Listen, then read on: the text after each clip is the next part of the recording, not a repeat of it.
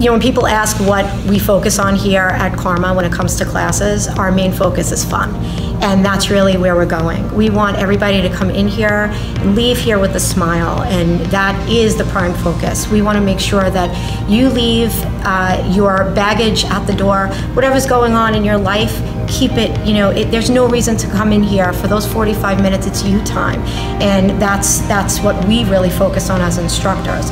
The same time, there's classes that are cardio, there's uh, cardio combined with strength training, there's strength training, um, there's kickboxing. Um, we, do, we do it all. Uh, you'll never know what you're gonna get when you come in here. That's the fun part about it.